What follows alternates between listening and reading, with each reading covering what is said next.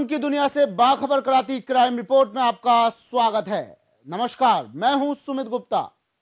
Crime report में आज हम आपको बताएँगे एक ऐसे सिरफिरे आदमी के बारे में, जिसने हिला दिया सबसे शक्तिशाली देश, अमेरिका को। उसने ले ली कई मासूमों की जान। क्या है पूरा मामला? देखिए इस रिपोर्ट में।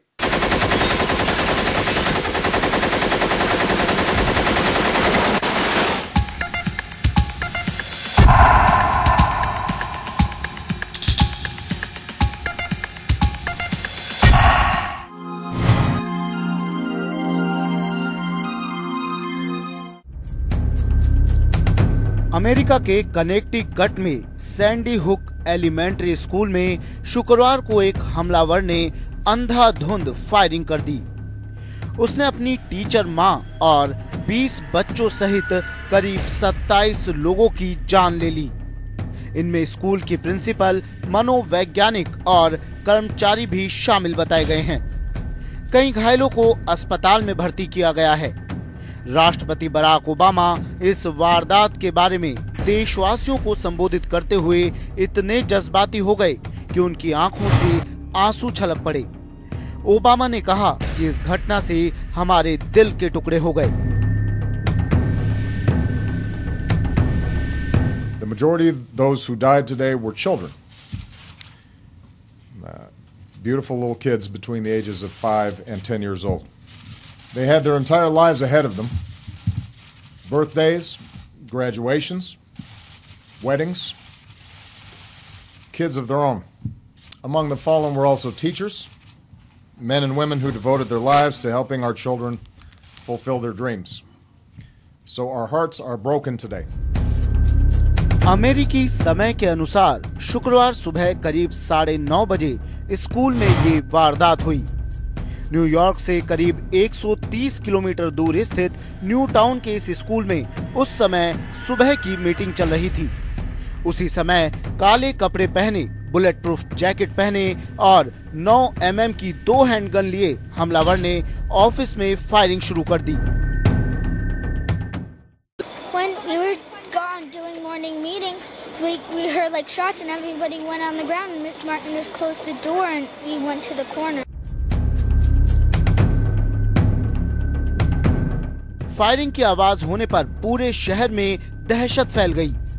पुलिस और एफबीआई ने स्कूल को घेरे में ले लिया। हमलावर की पहचान रियान लांजा के रूप में हुई है। उसने बच्चों को मारने से पहले अपनी माँ की हत्या की, जो स्कूल में ही टीचर थी। फायरिंग का शोर होने के बाद बच्चों को क्लासरूम में बंद कर दिया गया। इस दौरान 100 राउंड फायरिंग की गई। कई बच्चों सहित अन्य लोगों को घायल हालत में बचने के लिए इधर उधर भागते हुए देखा गया I was in the gym and I heard a loud, well, I heard like seven loud booms, and the gym teachers told us to go in the corner. So we all huddled, and I kept hearing these booming noises. We just ran like every other parent, and we found out we couldn't get to the school. But you know, fortunately, you know, the fire department, Sandy Hook Fire Department's nearby. They shuttled everyone in, including the kids, into the side door of the firehouse.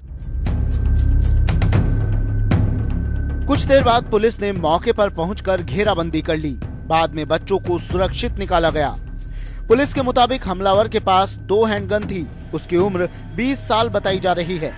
बाद में हमलावर ने खुद को भी गोली मार ली। उसका शव स्कूल बिल्डिंग में ही मिला। वारदात में एक और हमलावर होने की भी बात सामने आई है। वो पुलिस की गिरफ्त में है। हमलावर और उसके मंसूबे के बारे में पुलिस को अभी तक कोई जानकारी नहीं मिल पाई है।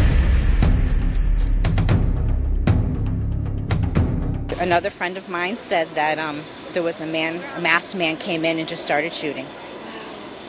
I don't know how he came in because every time you go in, you have to ring a bell and they can see you from the office and they know who you are and they let you in. So I don't know if it's somebody they knew. I, I just heard the principal was shot and killed. I heard uh, I heard some kids were shot. I, uh, teacher, Mrs. Hammonds was shot, and uh, they did they did walk a guy out of the woods. I saw him walk a guy earlier with handcuffs. He walked by us and said he didn't do it. पिछले कुछ महीनों के दौरान अमेरिकी स्कूलों में गोलीबारी की ये तीसरी घटना है। Crime report, Jan TV.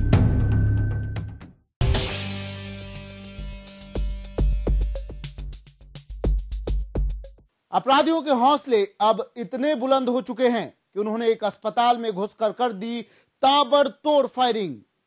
Gurgaon से आया एक सनसनीखेज मामला, जहाँ कुछ बंदूकधारियों ने अस्पताल में आईसीयू में भर्ती पिता पुत्र को कर दिया अपनी गोलियों से छलनी। पेश है ये रिपोर्ट। गुड़गांव के एक अस्पताल के आईसीयू में भर्ती पिता पुत्र पर दिन दहाड़े दस बारह लोगों ने अंधाधुंध फायरिंग कर दी। सिर में गोली लगने से दोनों गंभीर रूप से घायल हो गए। वहीं एक अन्य मरीज़ के हाथ में भी गोली लगी है। उसे सिविल अस्पताल में दाखिल करवाया गया है। घायल पिता पुत्र को मेदांता अस्पताल के आईसीयू में भर्ती करवाया गया। आईसीयू में भर्ती पुत्र ने इलाज के दौरान दम तोड़ दिया। डीसीपी क्राइम महेश्वर दयाल ने बताया कि आरोपियों की धरपकड़ के लिए पाँच पुलिस टीमें गठित की गई हैं, जो हमलावरों को पकड़ने में जुटी हैं। बताया जा रहा है कि पुलिस ने दो युवकों को हिरासत में लिया है। पुलिस सीसीटीवी फुटेज देखकर यह तय करेगी कि वह हमले में शामिल थे या फिर नहीं। आईसीयू में हम लोग उनको लेके गए।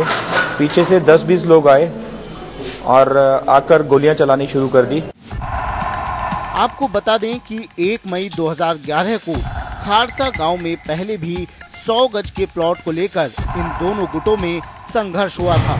पुलिस ने मनोज की शिकायत पर सतबीर और उसके बेटे रविंद्र के खिलाफ कातिलाना हमला करने का मामला दर्ज किया था। इस मामले की मंगलवार को अदालत में पेशी थी। दोनों ही गुट के लोग पेशी में आए। अदालत से जाने पर दोनों ही गुटों में खूनी संघर्ष हो गया। संघर्ष में घायल सतबीर, उसका बेटा जोगिंदर और रविंद्र चोटिल हुए। उन्हें खारसा रोड स्थित सनराइज अस्पताल के आईसीयू में भर्ती करवाया गया। जबकि दूसरे गुट से भी दो लोग घायल हुए थे। उन्हें सिविल अस्पताल में दाखिल करवाया गया। रविंद्र आपातकालीन वार्ड में था। तभी करीब 10-12 लोग अस्पताल आए। रिसेप्शन पर उन्होंने सतबीर और जोगिंदर के बारे में पूछा। उसके बाद वे लोग आईसीयू में दाखिल हो गए। स्टाफ ने रोकने का प्रयास किया तो हमलावरों में से पाँच ने स्टाफ को पकड़ लिया।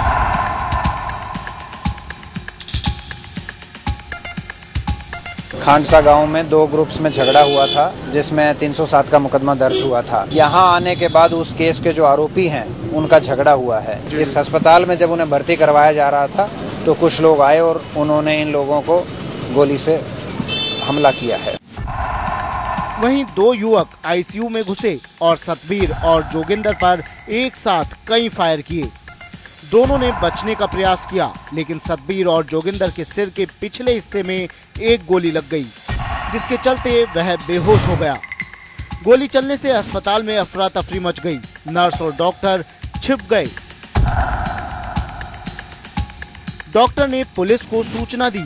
पुलिस आती उससे पहले हमलावर फरार हो चुके थे। सूचना मिलने पर डीसीपी, एसीपी और थाना प्रभारी मौके पर पहुँचे और जाँच में जुट गए। क्राइम रिपोर्ट जन टीवी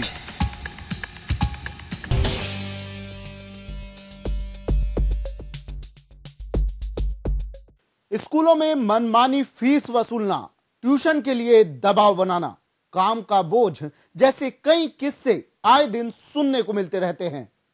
इन सब की वजह से परिजन तो परेशान होते ही हैं, लेकिन छात्रों पर भी इसका बहुत बुरा असर पड़ रहा है। ऐसा ही एक मामला सामने आया जयपुर से, जहाँ इन सब बातों से परेशान होकर कर ली एक छात्र ने आत्महत्या। पेश है ये रिपोर्ट। राजधानी जयपुर के महेश नगर थाना इलाके में दसवीं कक्षा के एक छात्र ने फांसी लगाकर आत्महत्या कर ली। छात्र के सुसाइड करने पर उसके परिजनों ने स्कूल प्रबंधन पर ट्यूशन के लिए प्रताड़ित करने का आरोप लगाया है। मृतक का नाम कमल वर्मा था, जो इंडियन कैम्ब्रिज स्कूल में दसवीं कक्षा का छात्र था। कमल ने कमरे के अंदर परिजनों की गैर मौजूदगी में फांसी का फंदा लगाकर खुदकुशी कर ली।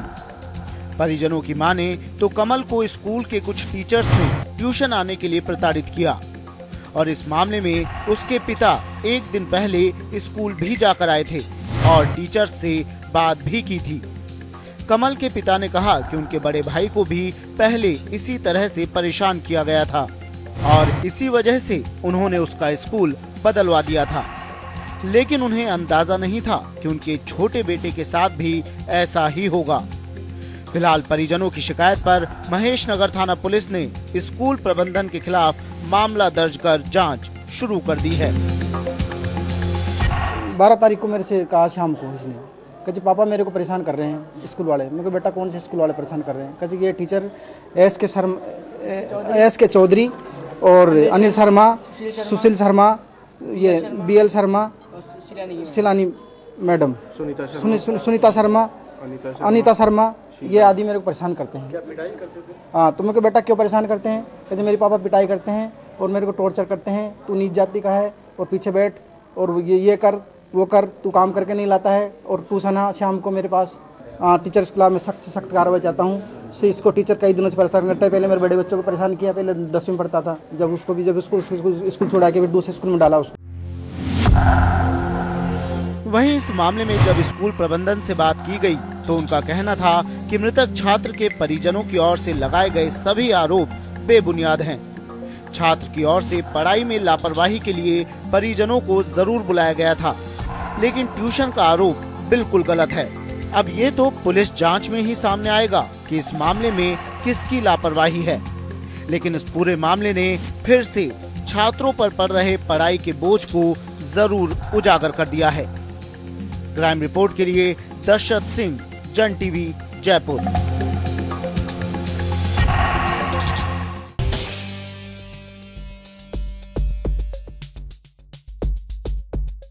क्राइम रिपोर्ट में यहाँ वक्त है एक ब्रेक का। ब्रेक के बाद जुर्म की कुछ और दास्तां से उठाएँगे पर्दा।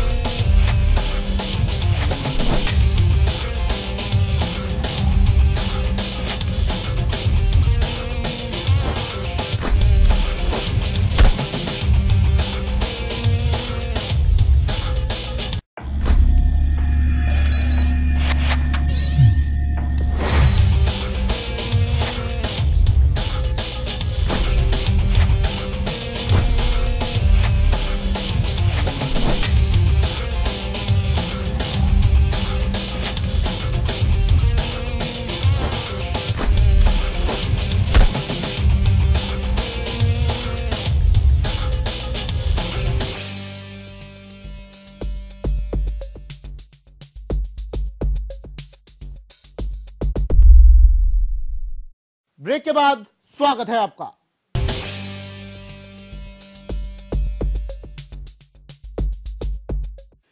जोधपुर में पुलिस कमिश्नरेट ने एक बड़ी कार्रवाई करते हुए 60 से अधिक बाल मजदूरों को बरामद किया।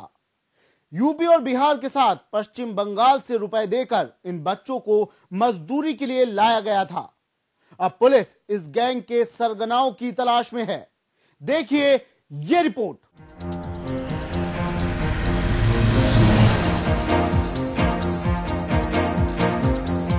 सरकार भले ही बाल श्रम को रोकने के लिए विज्ञापन के ज़रिए प्रचार प्रसार कर इस अपराध को रोकने की जुगत करती हो, लेकिन कहीं भी किसी भी प्रकार की कोई ठोस कार्रवाई नहीं हो पा रही।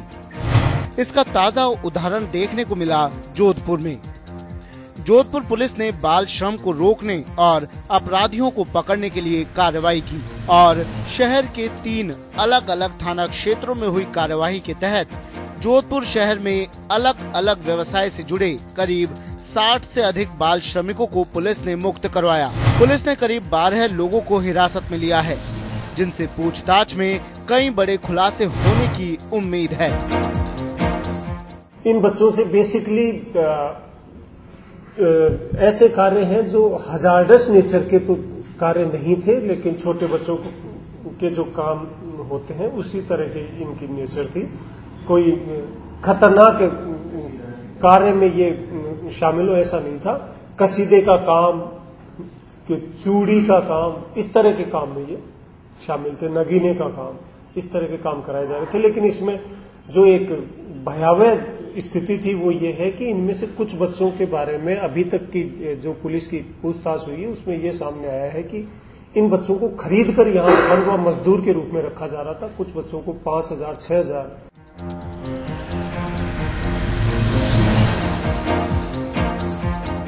पुलिस के अनुसार ये सभी बच्चे बंगाल और बिहार के थे, जिन्हें खरीद कर लाया गया था और सभी 8 से 15 साल की उम्र के थे। इनसे सुबह सात बजे से देर रात 11 बजे तक काम करवाया जाता था। पुलिस ने चाइल्ड लेबर को लेकर गैंग के सक्रिय होने की संभावना से भी इनकार नहीं किया।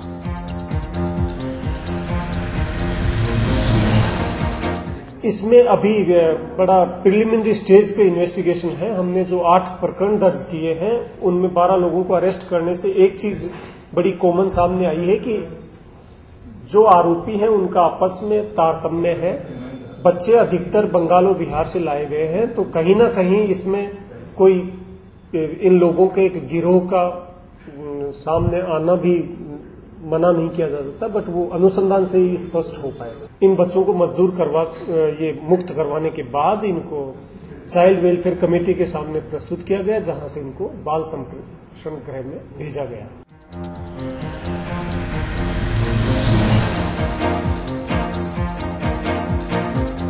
पुलिस अब इस गिरोह की तह में जाने की जुगत में है।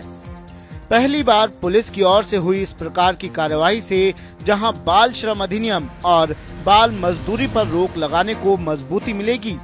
वहीं दूसरी ओर, इन बच्चों से दिन रात काम लेने वाले ठेकेदारों पर भी लगाम कसेगी। क्राइम रिपोर्ट के लिए अरुण हर्ष, जन टीवी, जोधपुर।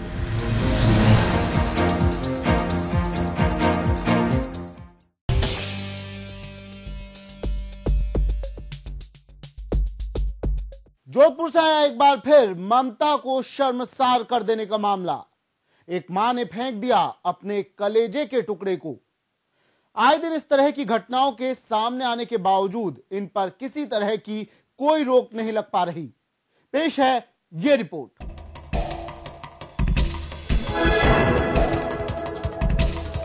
जोधपुर में एक माँ ने अपने चार दिन के कलेजे के टुकड़े को लावारिस हालत में अस्पताल परिसर में छोड़ दिया। जोधपुर के महात्मा गांधी अस्पताल में किसी ने अपने चार दिन के मासूम बच्चे को लावारिस हालत में अस्पताल के एक्सरे विभाग के बाहर टेबल पर छोड़ दिया। बाद में अस्पताल के स्वीपर ने जब बच्चे के रोने की आवाज़ सुनी तो उसे बैग में बच्चा टेबल पर पड़ा मिला, जिस पर उसने पुलिस को सूचना दी। बाद में पुलिस ने बच्चे को जोधपुर के उम्मेद अस्पताल भेजा। बच्चे को नर्सरी में भर्ती कर उसका चेकअप किया गया, जहाँ बच्चे की हालत स्थिर बताई जा रही है। ये एक बच्चा मिला है एमजीएच के एक्सरे रूम के पास में सुबह सात बजे। एक जूट के बेग में था, वहाँ से इमरजेंसी में वहाँ दिखाया गया इमरजेंसी में दिखाने के बाद उसको यहाँ पे लेके आए पेडियाटिक डिपार्टमेंट में। यहाँ लाने के बाद इसको इंजेक्शन वगैरह लगाया है, दूध वगैरह पिलाया, बच्चा अभी सेटल है। सही है। एक तो पुलिस को इन्फॉर्म तो पहले कर चुके हैं। उसके अलावा यहाँ पे शिशु गृह बना हुआ है, जहाँ पे अनाथ बच्चों की केयर वगैरह होती है। फिर वहाँ से इन्फॉर्म करके वहाँ भेज दिया जाएगा। ये एम से लेके आए हैं। एक्सरे रूम के पास में था, किसी जूट के बैग में रखा हुआ। तो वहाँ उसके रोने की आवाज़ सुनी तो स्टाफ ने वहाँ के जो इमरजेंसी स्टाफ था, उन्होंने वहाँ देख के फिर वहाँ उसको केयर करके फिर यहाँ भेज दिया है। अस्पताल प्रशासन ने पुलिस को इसकी सूचना दे दी। पुलिस अब इस बच्चे के माता पिता का पता लगाने का प्रयास कर रही है। लेकिन अस्पताल में इस तरह से बच्चे को लावारिस हालत में छोड़ जाना कई सवाल खड़े करता है। क्यों इस तरह की घटनाओं में बढ़ोतरी हो रही है? ये अब पुलिस जाँच का भी विषय बन गया है। क्राइम रिपोर्ट के लिए अरुण हर्ष, जन टीवी, जोधपुर।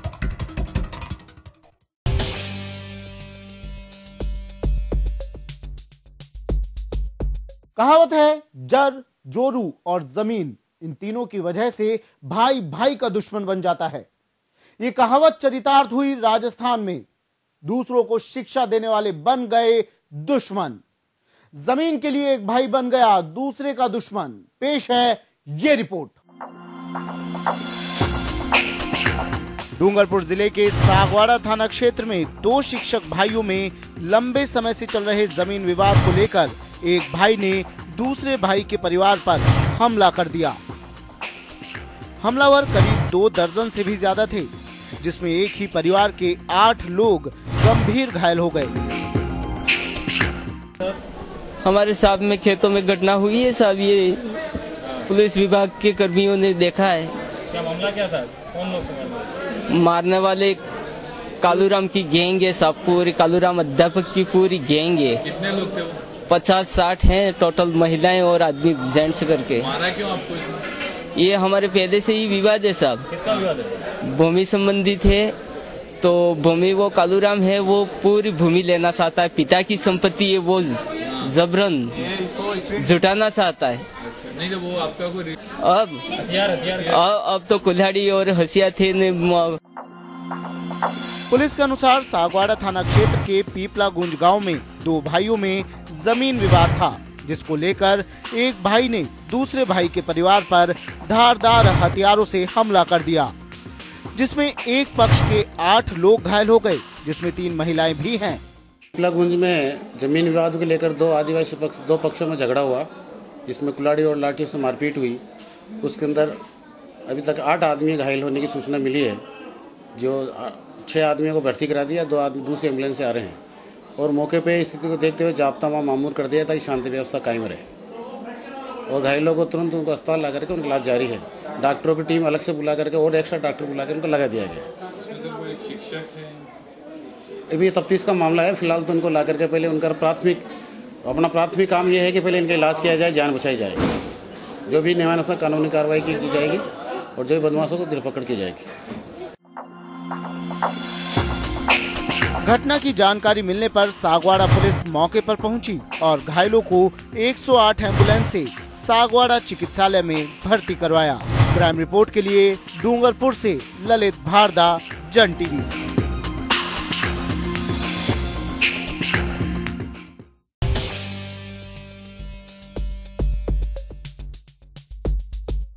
दिया तले अंधेरा, ये कहावत चरितार्थ हुई राजस्थान में। राजस्थान से आया भगवान के घर चोरी करने का मामला। पुलिस चौकी के समीप स्थित मंदिर में हुई चोरी। पेश है, नागौर से आई ये रिपोर्ट। नागौर में बढ़ती चोरियों ने पुलिस की नाक में दम कर रखा है। लाडनू में राहु गेट बालाजी के मंदिर में चोर मंदिर के ताले तोड़कर करीब एक किलो चांदी से बने चार छत्र ले गए। मंदिर के पुजारी हमेशा की तरह आरती करने पहुँचे तो उनको ताले टूटे हुए मिले। पुजारी द्वारा पुलिस को सूचना देने के बाद पुलिस ने मौके पर पहुंचकर घटना का मौका मुआयना करके जाँच शुरू कर दी है। पुजारी ने बताया कि मंदिर से चार छतर चोरी हुए हैं। बताइए सर क्या हुआ था? आप कितने बजे पहुँचे थे मंदिर? सवा छः बजे। सवा छह बजे। आते ही आपने क्या देखा? ताला टूटा हुआ था। क्या क्या चोरी हुआ यहाँ पे मंदिर चार छत्तर हुए थे चोरी। एक चार छत्तर एक बालाजी का था एक हाँ। लक्ष्मण जी एक राम जी एक सीता जी। चार छत्तर चोरी हुई? चारों छत्तर सोने के थे या चांदी के? चांदी के जैसे तो उसके बाद में क्या किया आपने? पुलिस चौके गए थे अच्छा पुलिस ने मौका मुआयना हाँ, पुलिस कर जाके वो आ गए। हाँ, फिर आरती करी बाद में हाँ। मौका मायना करने के बाद में। रिपोर्ट लिखवा दी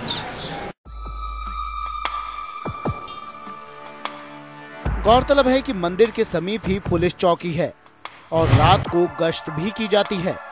पर चोरों ने पुलिस की नाक के नीचे से चोरी की और पुलिस को पता भी नहीं चला। इस घटना को लेकर भक्तों में रोष व्याप्त है। आपको बता दें कि इससे पहले भी यहाँ कई मंदिरों और घरों में चोरियाँ हो चुकी है, पर पुलिस ने अब तक कोई गिरफ्तारी नहीं की। न ही पुलिस अब तक किसी वारदात का कोई खुलासा कर पाई है। लगातार हो रही ये घटनाएँ कहीं न कहीं पुलिस की कार्यप्रणाली पर भी सवालिया निशान लगा रही हैं। नागौर से क्राइम रिपोर्ट के लिए दीपक बोहरा, जन टीवी।